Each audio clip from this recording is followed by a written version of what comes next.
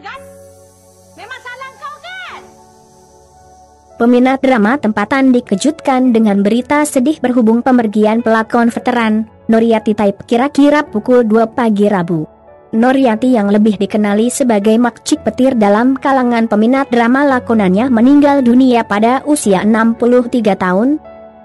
Berita berkenaan disahkan anak saudaranya yang juga pengarah drama, Sahrul Lezat Muhammadin atau lebih mesra dengan sapaan budak ijat menerusi perkongsian di Instagram.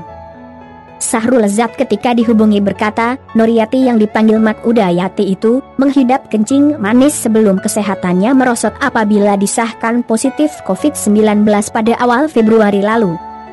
Semalam dalam jam pukul 1 pagi, dia mengadu sakit badan. Jadi, dia minta obat tahan sakit. Selepas itu dia terus rebah. Anaknya terus menghubungi ambulans dan hasil pemeriksaan Mak udah disahkan meninggal dunia. Katanya, Marilah kita sama-sama mendoakan agar roh beliau dirahmati Allah, dihimpunkan beliau dalam kalangan mereka yang soleh. Amin.